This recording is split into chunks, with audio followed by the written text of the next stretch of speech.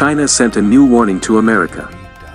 The Chinese military is conducting maneuvers around Taiwan to warn the United States and teach a lesson to Taiwanese separatists.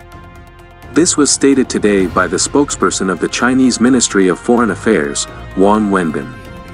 The measures we have taken are a response to the visit to Taiwan by U.S. House of Representatives Speaker Nancy Pelosi.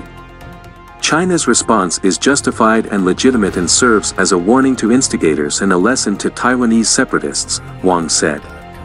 He said that there is only one China, of which Taiwan is an integral part, reports TASS.